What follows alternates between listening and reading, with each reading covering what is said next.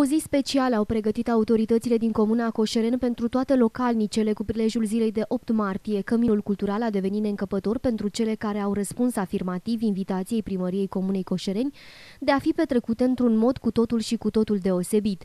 Un spectacol cu interpreți de valoare și alte momente inedite au fost surprizele pentru doamnele și domnișoarele din comună, surprize puse la cale de autorități ca un omagiu adus femeii. Evenimentul a debutat cu acordarea unor diplome de excelență doamnelor care și-au adus o contribuție importantă la bunul mers al comunității din Coșereni. Ziua de 8 martie este ziua femeii. Consider că în această zi femeia trebuie ridicată pe piedestalul unei regine. Vă doresc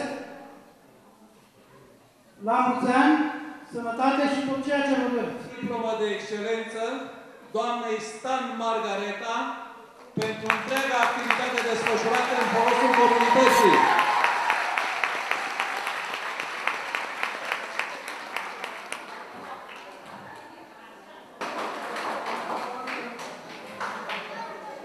Doamna Ștefania Radu, aceeași diplomă de, de licență. Așa cum un mare gânditor francez spunea că femeia este cea mai frumoasă jumătate a lumii, astăzi, în ziua de 8 martie, m-am gândit cu domnul ambasador să facem acest spectacol, iar cu permisiunea soției, vă sărut, vă îmbrățișez și vă spun din nou la mulți ani femeie! Sub denumirea Te cânt și te iubesc femeie, spectacolul a debutat cu momente artistice pregătite de elevi ai școlii gimnaziale din comuna Coșereni.